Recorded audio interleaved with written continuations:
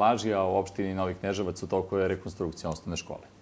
Uz to u planu je i obnavljanje zgrade vrtića, a tim povodom još jednom nam se uživo javlja naša Gorjana Stojković. Gorjana, reci nam ko je obezbedio sredstva za realizovanje tog, tih projekata. Pa, za realizovanje projekta koji se odnosi na rekonstrukciju škole, sredstva je obezbedila vlada Republike Srbije, a za projekat rekonstrukcije vrtića sredstva je obezbedila pokrajina. Detaljnije o ovome reći će nam naš gost, gospodin Radovan Uverić, predsednik opštine Novi Kneževac. Gospodine Uveriću, dobro jutro, hvala što govorite za RTV. Dobro jutro vama i vašim gledalcima. Jedna kapitalna investicija ovde, možemo slobodno reći, da li će deca u Novom Kneževcu i okolnim mestima dobiti novu rekonstruisanu školu do početka školske godine 1. septembra? Da, zahvaljujući Kancelariji za upravljanje javnim ulaganjima Republike Srbije, deca u Novom Kneževcu će dobiti novu, modernu, rekonstruisanu školu. Vrednost radova je više od 250 miliona dinara i očekujemo da 1. septembra deca krenu u novu rekonstruisanu školu. Naredne sedmice deca kreću u školu redovno. Kako je organizovana nastava s obzirom na to da je rekonstrukcija u toku?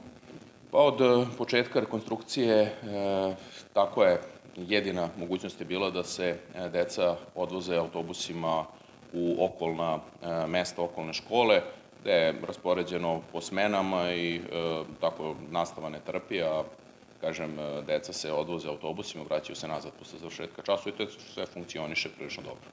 500 učenika ima? Tako je, 500 par učenika više ili manje u zavisnosti od godine i tako. A u predškolskoj ustanovi 300 dece? Tako je i predškolska ustanova Srećno dete u Novom Kneževcu prvi, ajde kažem, zadnjih nekoliko godina ima problema sa nedostatkom prostora i prvi put se pojavila lista čekanja za najmlađe mališane opštine Novi Kneževac.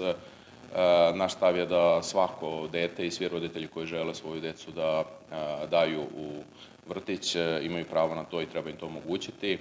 Nažalost, ovde je 2012. godine druga zgrada vrtića iz nekog razloga zatvorena.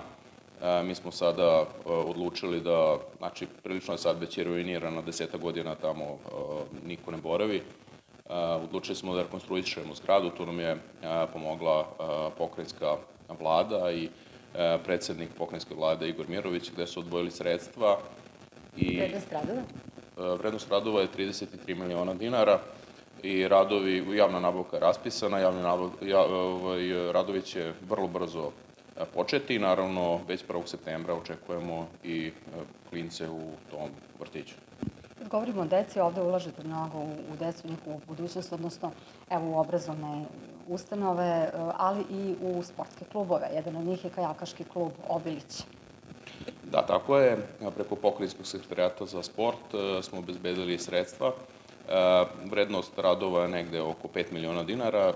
Vrednost radova je deo sredstava finansira pokrenjski serijat za sport, delom 30 i nešto posto otprilike finansira opština i to je druga faza na rekonstrukciji kajakaškog kluba. Kajakaš klub ima veoma dugu tradiciju opštine Novi Kneževac i očekujemo naravno i to u narednih mesec, dva dana, znači tokom letnje sezone, da bude potpuno rekonstruisan i završen objekat kajakaškog kluba i naravno 30 klinaca koji trenira tamo imaće mnogo bolje uslove za treninge. Gospodin Uveriću, hvala što ste govorili za RTV. Hvala vam.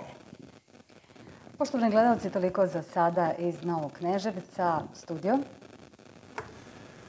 Hvala Gorena na, na svim informacijama za uh, ovo uključenje. Pratit ćemo uh, dalja dešavanje i rekonstrukciju osnovne škole i uh, obnavljanje zgrade vrtića. Da.